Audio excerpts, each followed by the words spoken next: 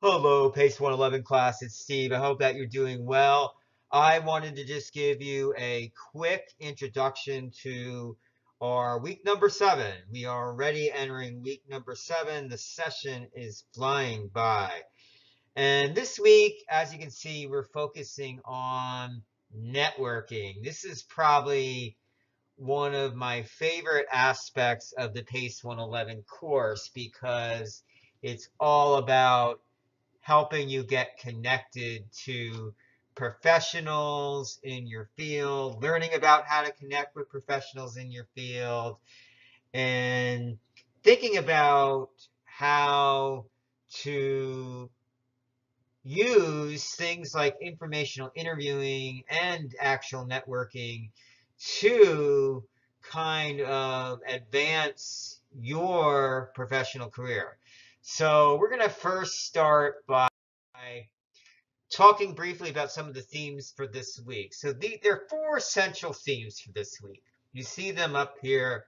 Networking. What do we mean by networking? So networking, we mean making contact, communicating with everyone we know pretty much. So, so letting everyone we know keeping them informed that hey i'm interested in cybersecurity or i'm i'm a student at umgc i just started my my computer programming degree or my it degree. So why do we want to do this? Well for one we never know who might know of an opportunity out there to help us personally and professionally develop.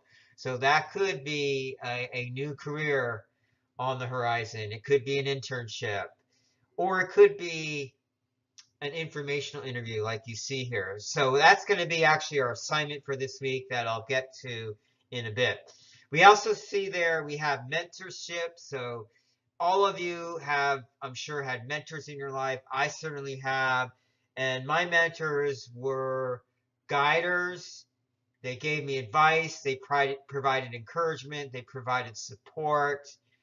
They helped me when I felt knocked down, okay, helped me bounce back, helped me develop that grit and resilience.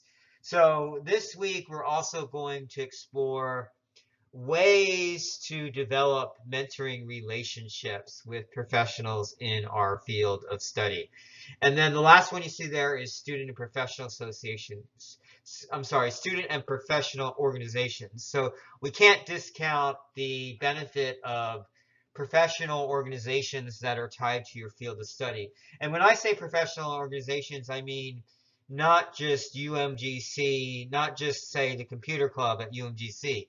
We're talking about professional organizations that help you to develop your talents, develop your skill sets, further your knowledge in your field. And so that's going to be part of this week as well. So as I alluded to on the last slide, this week's going to be an informational interview assignment. So this does involve some steps and some planning and foresight. So for this week, you're going to think about a professional in your field of study that you might be able to conduct an informational interview with.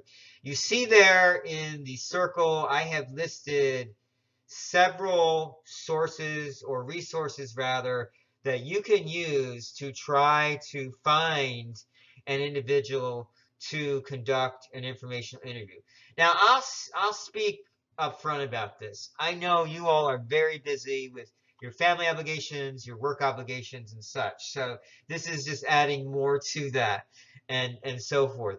But do your best and use your family and friends network. That's probably where I would start if I was you to try to identify a professional that is in the IT field, someone in the IT field, and maybe in your maybe in your specific specialization IT that you're thinking about to set up a informational interview. So how are you going to go about setting this up? We have some information in this week's module that talks a little bit about that. There's an email template for you about sending an email to someone to request an informational interview. again, I realize this takes time both on your part and it's going to take time on the interviewee's part. They have to be available as well.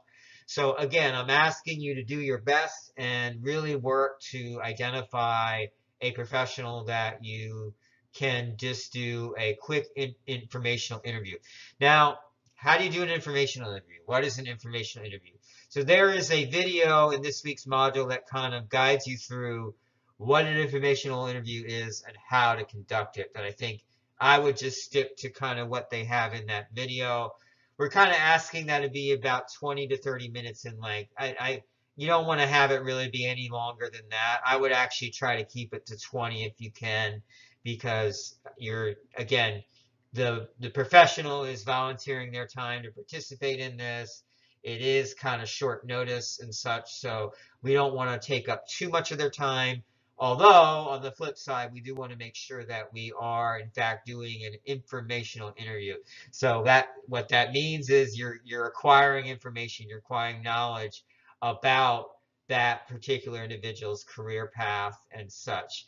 And then there is an assignment template under this week's course module that I uh, you need to use actually. I don't just encourage you to use, you should be using for this assignment.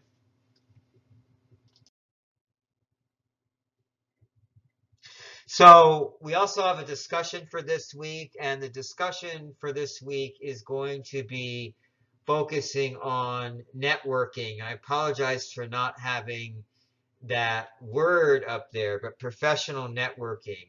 How, what steps would you take to build your professional network? And what I mean, when you look at this image, you see all the connections, right? All the connections being made with uh, the lines and the circles and such. That's what a professional network basically is, making connections establishing connections with professionals in your perspective or current field. And then you're going to look at some goals. what are your short-term and long-term goals for building a professional network? Is it to learn about opportunities? Is it to have, to maybe have that mentor, develop that mentoring uh, relationship with a professional? I should say mentee-mentor relationship. And then the benefits, so uh, kind of exploring the benefits of the, the networking relationship. So this goes into greater detail in the, again, under this week's course module. Ah, there it is. Exploring ways to build your professional network. Aha. Alrighty, so as always, I hope you realize this from me. I, I welcome questions. So if you have questions that come up, let me know. Again, do your best to get this set up as soon as possible. I know we've given you like a limited window of time here and so forth, but do your best to use some of the resources that I mentioned earlier. So not just friends and family, friends and family members, but there's LinkedIn. If you've heard of LinkedIn, that's a really a great tool to network with other individuals, other professionals.